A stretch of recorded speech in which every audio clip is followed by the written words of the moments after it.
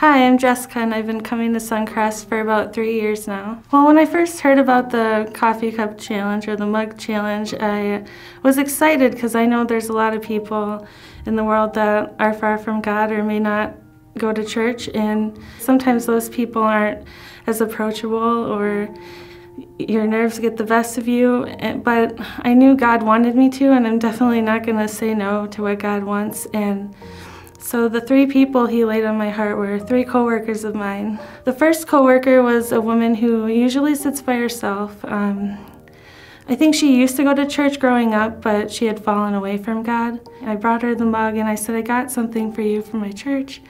And she was really excited and shocked that I thought of her. She said, thank you. And I asked her if she was free one weekend to come to church with me. And she was a little hesitant, but she said she would think about it. She wants to talk about it soon, so I look forward to that conversation. The second person I gave the cup to, um, she's newer at work. She, like, some people say she's a little bit rude. She's kind of standoffish, but it was a little difficult to get up the courage to walk up to her and have that conversation because I didn't even know if she believed in God or not. It didn't matter because I knew God chose her for me to talk to, and um, I actually left the cup on her desk and she called me right away when she got it and she was so excited because I guess they just got a new coffee maker so she said it would go perfect with it.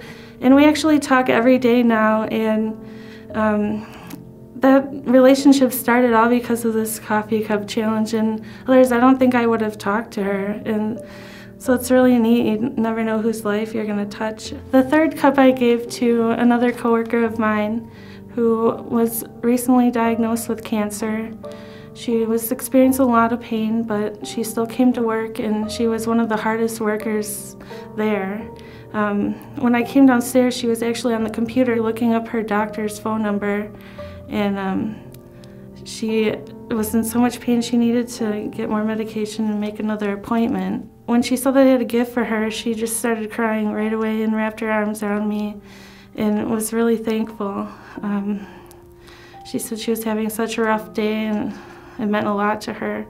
And I asked her if she was ever free one weekend to come to church with me, and she said that she would love to, but that it would have to wait till after her surgery. I found out a couple weeks later that she had passed away. But I hope that she looked at her cup and I hope that I planted a seed and she thought about God. Because I can imagine going through something like that and not having God in your life. And I'm just thankful for the whole experience because you never know um, who you're going to talk to and, and how it's going to turn out and whose life you're going to touch. One of my biggest fears is becoming that person who takes a big step of faith and then is satisfied with what they did and satisfied with what God did. And then they just feel like okay that was good and now I'm done. I I don't ever want to plateau in my journey and I want to keep you know praying to God and listening to what he wants me to do. And I want to help as many people as I can. When I think about that there's a reason why people are hard to approach or they might be going through something in their life. Um, and that's usually the case. They're hurting or they're upset, and that's when they need God the most. I just think that if people participated in things like the Coffee Cup Challenge or just, I mean, even one thing a week or something, just sit and pray to God and listen to what He wants for your life, that we could make big changes. I mean, if we all just did something small, it could make a great impact.